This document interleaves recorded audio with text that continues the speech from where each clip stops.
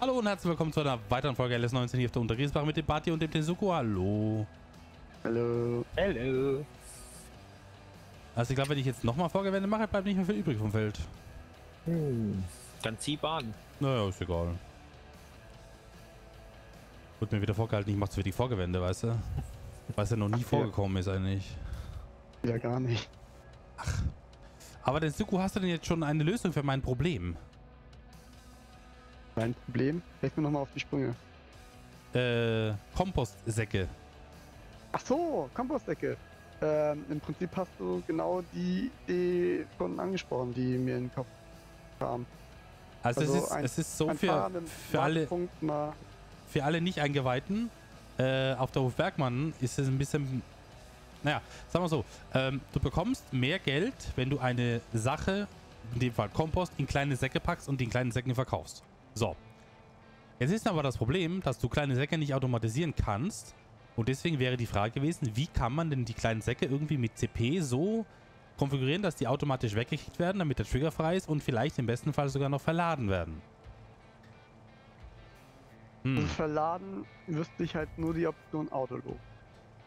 Dann ist eben nur die Frage, gibt es einen Anhänger oder Fahrzeug, was Autoload hat für diese Säcke und vielleicht sogar, ähm, ich sag mal so, maximales Ladevolumen, also dass noch angezeigt wird, jetzt hat er zwei Säcke geladen, jetzt drei, jetzt vier Mhm, und irgendwann mhm. ist er halt bei 50 Säcken, hat 100 Prozent, dann könnte es sogar sein, dass man auch das automatisieren kann, wobei ich eben nicht weiß, ob wir den Autoload-Modus an- und ausschalten könnten. Das wird wahrscheinlich nicht gehen. Aber zumindest wegtransportieren kann man die dann. Man kann Ja, also sagen, da ich bin am Ziel angekommen und äh, Also ich habe dann spät nachts nach dem Livestream habe ich noch Nachrichten bekommen von Leuten, die es versucht haben. ja. Und die haben gesagt, es gibt wohl Mittel und Wege. Ähm, am besten funktioniert es mit dem Förderband, was ich hinten wie die Strohballen habe, wenn du weißt, was ich meine. Dieses, ähm, hatte Dennis, glaube ich, auch gesagt. Ja, Das, genau. Ähm, ja, Es ist halt sehr, sehr steil. Wenn du dann die Säcke natürlich in so einen, so einen normalen Trailer oben reinfallen lässt, Ja. Also ich habe dann verladen. auch ja. ein paar Minuten, also ein Video bekommen mit ein paar Minuten. Das Problem ist, teilweise ist es so, dass die Säcke dann runterkullern wieder, weißt du? Ein Förderband. Ja, Mhm. deswegen. Ah, ich bin noch nicht ganz sicher, wie das, wie das geht. Ah, Muss mal gucken, warum die runterfallen. Also ist das, weil sie eher schief rauf landen? Dann müsstest du sowas haben wie, ich sag mal, du hattest ja schon die Idee gehabt mit dem Frontlader war das, glaube ich, ne? ähm, diese runterzuschubsen.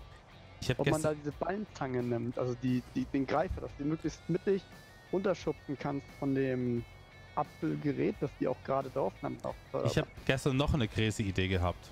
Aber Oha. ich weiß nicht, ob das funktioniert. Ich nehme mir einen Schwader aus dem Mod-Hub. Einen Einkreiselschwader. Hau den in den GE rein. Hau, bau alles ab. Bis auf diese Stange, die sich dreht in der Mitte. Stell die Stange hin. Oder stell dieses Gerät praktisch als nackte Stange dahin. Dass sich nur oben die Stange dreht und immer diesen Sack runterhaut. Weißt du, was ich meine? Ja.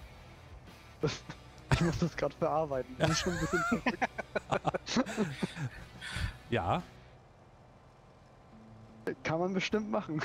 Ich, ja, ich hab, war mir dann nicht sicher, ob ich ähm, noch die, Geschwindig die Drehgeschwindigkeit einstellen kann.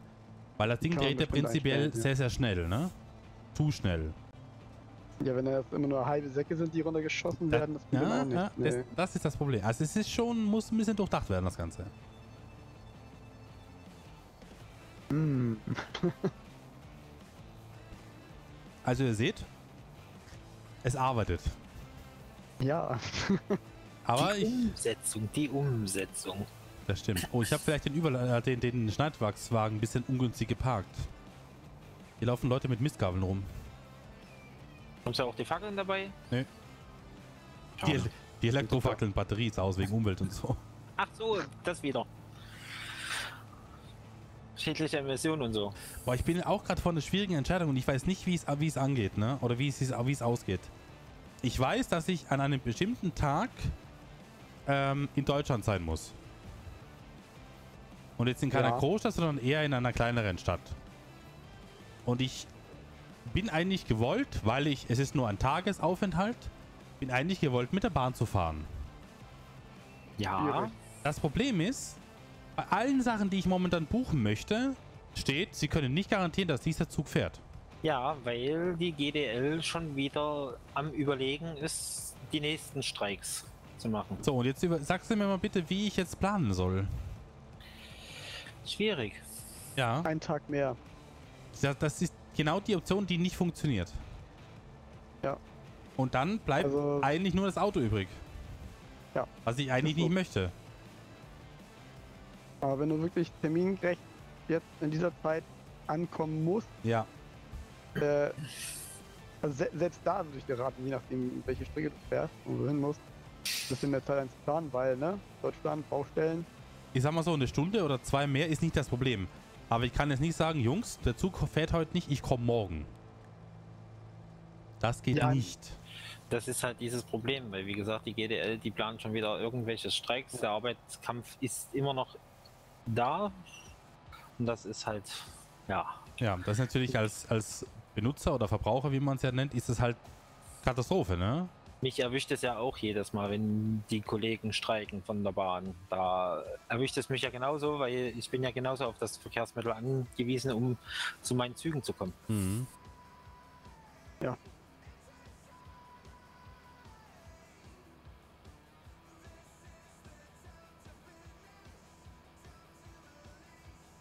Sag doch was, wenn du voll bist. Ich bin, nee, ich war nicht voll, ich war hier in der Nähe, hab die Bahn beendet, deswegen bin ich gleich hierher gefahren. Ach so, Ja. Ich kenn das, noch, nicht zum Axiom fahren. kenn das noch vom, vom Singleplayer. Hilft dir selber, weißt du? Ist richtig. Ja, Nee, ich habe gerade fix das, das Feld 41 alles eingescannt. gut. Wir haben gar keinen Stress hier. ich muss sagen, 45 ist ja auch schon gescannt. Oder? Es braucht Kalk, es braucht. Was wollen wir eigentlich hier drauf machen? Liebe, Zuneigung, Sonne und Wasser. Äh, Mais? Mais. Ja, ja. Ach ja, stimmt ja, da war was. Lohnt sich, ne? Aber der New Holland ist ja gerade mit der unterwegs. Müsste aber Starrer. fertig sein, wenn ich so gesehen Sarah habe. ist noch am, am Grubbern. Vorletzte Bahn und die letzte ist nur so ein kleines Stückchen. Naja, gut. Schmaler Streifen. Kalkstreuer. Äh, Kalkstreuer ist Düngerstreuer, ne? Also, der müsste auch irgendwo rumstehen. Ja, den suche ich ja gerade. Ich glaube, er hat aber Tensuko gehabt, oder Der- der- nicht? Der steht Ach hier. Ach, nehmen wir den, Ähm, den anderen suchen wir ähm, später. Reinschuppen. Meine Schwester ist aktuell im Urlaub. Also meine Schwester ist mit meiner anderen Schwester und mit meiner Mutter noch in Urlaub gefahren. Ans Meer. Italien. Und jetzt bekomme ich Mhm. im Zwei-Stunden-Takt Bilder auf WhatsApp von Essen. Warum? Den Suko suchtest du nicht Dünger? Sag nicht, du hast einen gefunden. Das ist schwierig. Nicht da ist Dünger drin. Da ist Dünger drin, 4329 Liter. Hm? Ja gut, den hätte ich aber erst aufladen müssen. Und dann. Muss ich ja so oder so. Guck. Guck Okay. hin, kleiner Padawan. Hey, Dünger. Cool. Hey, geilo. Ja, Essen, WhatsApp. Ähm, Katastrophe. nicht, Aber das das. Gute ist, ähm, es ist immer so irgendwas mit Fisch. Und ich mag eigentlich keinen Fisch. Oder ich mag generell nichts irgendwie, was im Wasser rumschwimmt. Okay. Kommt auf den Fisch drauf an. Nee, also Fisch gar nicht. Also auf Also- Fisch oder Tintenzeug oder Seestern oder... Ah! Nee, gar also nichts. auch kein so ja. schönes Krabbenbrötchen, Gar nichts. Remoulade so. oh, Nein, mm. nein, nein, nein, nein, nein. Gar nichts. Also Kann- wirklich Kann ich nicht. jetzt so verputzen. Ich, ich, mag, ich mag das, was rumläuft, ja. Aber das, was irgendwie schwimmt, da... Oh nee, oh nee, nee. nee. Auch schönes Seelachsfilet oder so. Mm. Ja. Ja, oh, Lachs. Mm, Bin ich oh. nicht, bin ich nicht. Ab und zu mal Thunfisch. Getunten Fisch? Ja. Ab und zu mal so ein Thunfischsalat oder, keine Ahnung, mal irgendwie ein Salat, äh, ja, ein grüner Salat mit ein bisschen Thunfisch. Das ist okay. Aber mehr ist es auch nicht. Mit Thunfisch kannst du mich zum Beispiel jagen. Den mag Ehrlich? ich überhaupt nicht. Ja, es ist jetzt auch nicht den Fisch, den ich favorisieren würde. Aber es ist auch Aber- das, ja? Also, also, also warum kein Fisch, es aus dem Wasser kommt oder wirklich gegessen und gemerkt so, mm, bäh. Es schmeckt mir nicht. Also es, ich mag den Geschmack nicht. okay. Ja, das ist. Also Äh. es ist nicht so, dass ich jetzt einmal dran gerochen hätte und gesagt habe, äh, ist nichts, sondern ich habe es wirklich häufig und regelmäßig und auch verschiedene Sachen probiert und ich muss durch die Bank sagen, ist nicht mein Fall. Okay. Wobei, also ja gerade, ich sag mal, gerade Lachs ist ja in wirklich den verschiedensten Arten. Ne? Also Mhm. klassisch äh, geräuchert äh, und auch dann äh, auf Brot mit oder Brötchen mit äh, ein bisschen Meerrettich. Ähm, ja, oder ich sag mal, das haben wir beim Italiener gegessen. Äh, Bandnudeln, Lachs und so eine schöne Sahnesoße dazu. Das ist halt auch was total Leckeres eigentlich. Meine, meine, Ich- meine Freundin ist, da kommen wir gleich, ne? Also die kann morgens, kann die Lachs essen. Lachsbrötchen und irgendwie, keine Ahnung, auch Ja. abends Lachs. Gar kein Problem, aber nein, ich kann, nee, gar, gar, also nee. Ja, okay. Das einzige, aber wie gesagt, Thunfisch, ja, das geht. Ähm, aber das war's. Wo man mich mit jagen kann, ist zum Beispiel Rosenkohl. Eh, Oh, das liebe ich wiederum, ne? Also Rosenkohl, nee, nee. Rosenkohl ist genau meins. Ich mag auch alle Arten von Bohnen, muss ich sagen. Ja, da bin ich mit dabei. Egal, ob die weißen oder die roten oder ganz egal, ne? Also was Gemüse angeht und, und so, da, ja, so, das ist komplett egal. Was auch geil ist, ist Wild. Wildschwein und, Oh nee, oh nee. Und Reh, Ah, ich weiß nicht. Da bin ich ganz komisch. Karnickel. Also kein Wild, kein, kein intensiver Käse und kein Fisch. Ach, schöne Gorgonzola-Soße. Oh, hör auf. Was? Das ist, nee, das ist nicht meine Abteilung.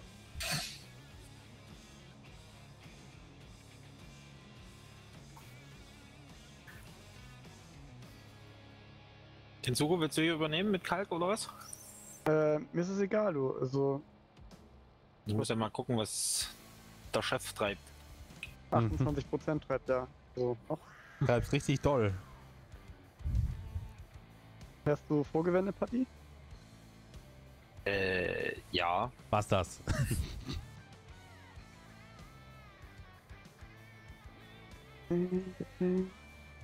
Dann machen wir doch mal das Baum.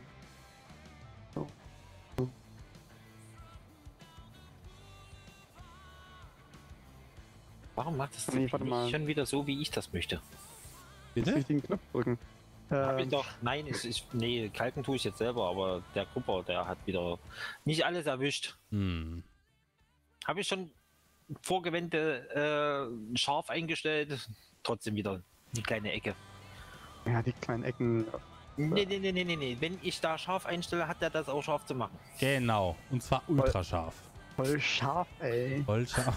Vor allen Dingen habe ich Überlappung 10% und, und die Breite habe ich auch nochmal äh, 0,2 Meter runtergenommen. Und super scharf.